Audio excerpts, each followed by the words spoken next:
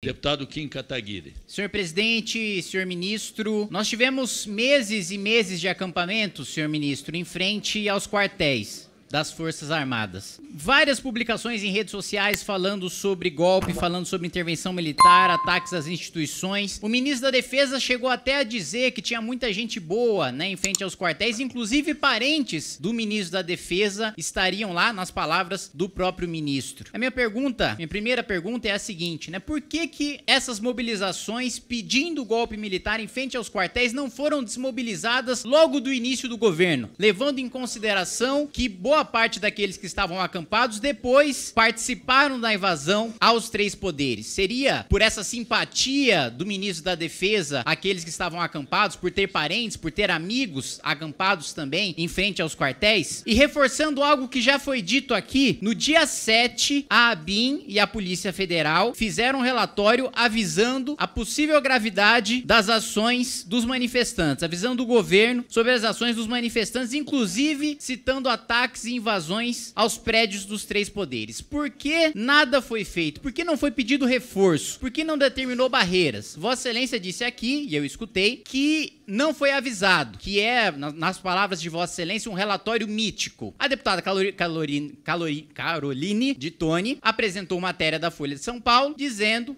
que a ABIN fez esse aviso. Vossa Excelência disse que leu a matéria e que não encontrou o Ministério de Vossa Excelência na matéria. e ainda, na minha avaliação, tentou lacrar em cima da deputada, insinuando que ela não sabia ler. Mas o fato é que a matéria fala sobre o CISBIM e um dos integrantes do CISBIM é o Ministério da Justiça. Portanto, diz a matéria que o ministério comandado por Vossa Excelência foi avisado sim. Isso diz a matéria da Folha de São Paulo. Diz outra matéria na CNN, a mesma coisa, só que dessa vez citando nominalmente o ministério e o nome do ministro e Vossa Excelência. Então, eu reafirmo a pergunta que foi feita. Estaria a imprensa, esses dois veículos e vários outros veículos, mentindo em relação à distribuição desse relatório da ABIN ao Ministério de Vossa Excelência e a outros órgãos do governo federal? Caso contrário, Vossa Excelência vai manter a postura, então, de mover processo contra estes veículos de imprensa pela propagação de desinformação? Um outro ponto. O batalhão da Guarda Presidencial do Exército Exército, responsável pela segurança, aqui a gente não está falando do governo do Distrito Federal, que eu não tenho a menor dúvida de que foi absolutamente negligente, de que houve uma omissão criminosa do governo do Distrito Federal em relação à proteção da Praça dos Três Poderes. Mas o Batalhão da Guarda Presidencial do Exército, que não está sob a tutela do governo do Distrito Federal, responsável pela segurança e pela proteção do prédio, foi dispensado pelo governo. E há documentos oficiais já divulgados pela imprensa mostrando essa dispensa. Mesmo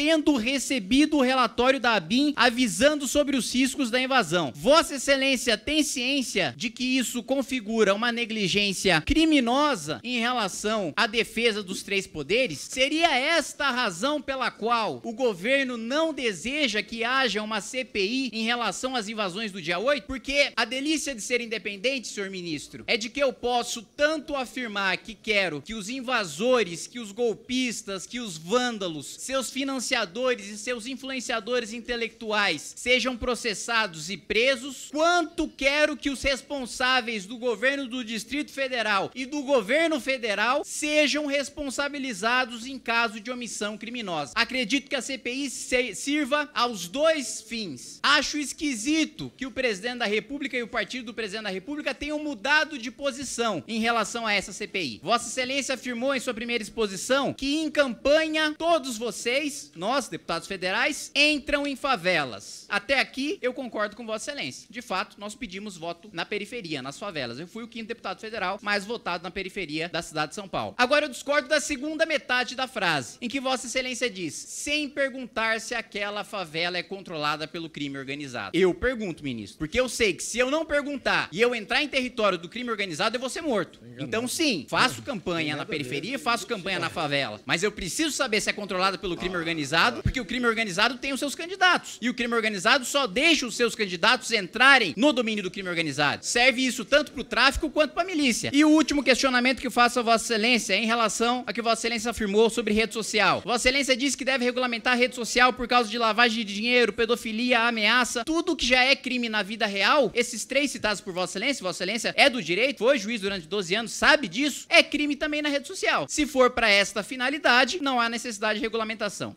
Eu tenho medo, deputado Kim, de ir em comunidade, em bairro, periferia? Não, não tem. Reconheço que tem gente que tem medo. Devem ter lá os seus motivos. Eu não tenho. Eu sou político há 17 anos. Fui eleito governador duas vezes em primeiro turno, senador mais votado da história do Maranhão, deputado federal e nunca tive nenhum problema com o povo pobre do meu estado. Se alguém tem medo, muito bem, que resolva lá os seus problemas. Eu não tenho. E, claro, respeito a todos os procedimentos que cada um queira tomar. Em relação ao senhor deputado Kim, deputado, é, em relação a essa temática dos quartéis do Exército, eu já vi pronunciamentos sobre, seu sobre o assunto e com certeza o senhor acompanhou as minhas posições sobre o tema. Infelizmente, houve uma resistência e eu tenho muita responsabilidade com o que eu vou dizer doravante. Houve uma resistência de uma ínfima parte do Exército que preferiu ouvir vozes satânicas. A imensa maioria do exército brasileiro é legalista. A imensa maioria das Forças Armadas, mais uma vez, mostraram o seu compromisso com a democracia. Quando? No dia 8. E por isso que eu elogio muito as Forças Armadas e deploro essa ínfima parte que opôs resistência à desmontagem dos acampamentos que eu concordo com o senhor que não deveriam nem ter existido. A questão é mais profunda. Não é quem não desmontou, é quem deixou montar. E por que deixou montar? Porque não queria aceitar o resultado da eleição. Em relação a ao ministro Múcio, eu quero dar o meu depoimento. Os mais antigos na casa vão lembrar da atuação parlamentar do deputado Múcio. Um parlamentar sério. E como seu colega de governo, quero dizer que o ministro Múcio fez e tem feito o possível em condições inicialmente muito hostis e por isso eu faço justiça ao ministro Múcio, no sentido de reconhecer que ele operou no início em condições muito difíceis. Por isso, eu não estou entre aqueles que culpam o ministro Múcio, ao contrário, o elogio. Em relação a, ao papel das Forças Armadas, deputado Kim, é por isso que a Polícia Federal pediu ao Supremo autorização para investigar. E isso foi deferido. Ou seja, o senhor tem razão, no sentido de que é necessário investigar militares, da ativa, inclusive o que eu lamento como brasileiro, que respeita as Forças Armadas. Mas, infelizmente, essa necessidade houve, porque, a juízo da Polícia Federal e do eminente relator no Supremo, havia indícios da participação, por ação ou omissão, de uma ínfima parte das Forças Armadas. E isto vai ser adequadamente apurado perante o Supremo Tribunal Federal e nesse inquérito que lá está, e o senhor pode ter certeza com muita independência. Em relação ao dever de cuidado, o senhor tem razão que são crimes. O debate não é esse. O debate é os provedores de conteúdo de terceiros, à semelhança do dono de um shopping, ou do dono de uma loja, ou dono de um depósito, onde são perpetrados crimes, tem ou não tem o dever de cuidado de de prevenir o cometimento de tais ilícitos. Esse é o debate. Dever de cuidado, responsabilidade civil, não penal, inerente ou decorrente do não cumprimento do dever de cuidado. Portanto, não se trata, o senhor tem razão, de tipificar novas condutas como crime, e sim convidar numa regulação cuidadosa que as plataformas tenham o dever de cuidado como o dono de um shopping tem. O senhor nunca viu, o senhor é de São Paulo, não é isso? O senhor nunca viu num shopping, sei lá qual é o nome do shopping, é Pátio Paulista, deve existir isso, lá na Avenida Paulista. É, não é lá, não? É no Largo Presto da Praça Oswaldo. Pronto, o Rui me corrige aqui. Mas eu tentei, eu tentei. O, lá no shopping, o senhor nunca viu uma placa. Aqui ensinamos a fabricar bombas. Porque se houvesse, o shopping era corresponsável com o lojista pela ausência do dever de cuidado. Teoria do risco, proveito, está no Código Civil, o senhor sabe disso. Então, o que nós estamos colocando é que uma plataforma na internet, um provedor de conteúdo de terceiros, tem que ter um dever de cuidado em relação ao que lá circula. Porque isso põe em risco as nossas famílias, põe em risco os nossos filhos, leva a suicídios leva a bullying, leva a morte em escolas, leva a destruição de mulheres e de homens, claro. Então esse é o debate e é claro que eu sei da sua preocupação em relação à liberdade e digo, regular a liberdade não é infirmá-la. Infelizmente eu não tive direito à réplica em relação ao ministro Flávio Dino, mas ficou muito claro que ele deu uma ensaboada e não respondeu objetivamente as perguntas que eu fiz. Primeiro, por que o ministro da Defesa, por que o ministro da Justiça não tiraram o pessoal que estava acampando em frente aos quartéis? Ele jogou a culpa nas Forças Armadas. Olha, uma, uma, uma, parcela minoritária das Forças Armadas não quis, mas peraí, então você cedeu a uma minoria que não queria cumprir a lei?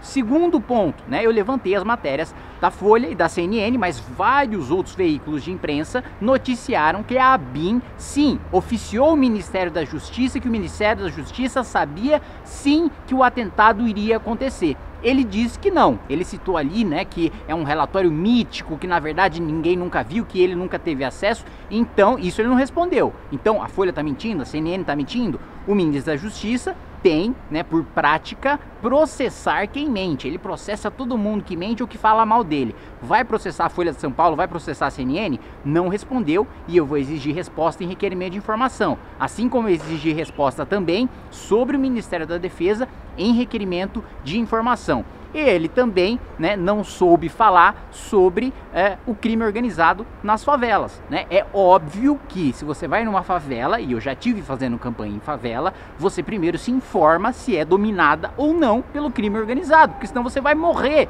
porque o crime organizado só deixa entrar na favela o candidato do crime organizado ou da milícia. Então, todos esses pontos, né? Ele colocou que concorda, concorda concordo com você aqui nessa parte, concordo, ele só concordou comigo, mas no final das contas não respondeu nada. E na regulação das redes sociais, por fim, né, ele defendeu a tese que é defendida pelo Alexandre de Moraes, que é defendida pelo Lula, que é defendida pelo governo, pelo relator do PL das redes sociais, que é o deputado Orlando Silva, que as redes sociais precisam ser responsabilizadas por tudo aquilo que é publicado nas redes sociais, que é uma tese que acaba com rede social, porque é humanamente impossível você fiscalizar tudo aquilo que é publicado. Enfim, no final não respondeu nada, mas tudo que for de objetivo e que puder trazer responsabilidade legal para o ministro ou para o governo, eu vou exigir resposta via requerimento de informação que ele precisa responder sob pena de cometer crime de responsabilidade.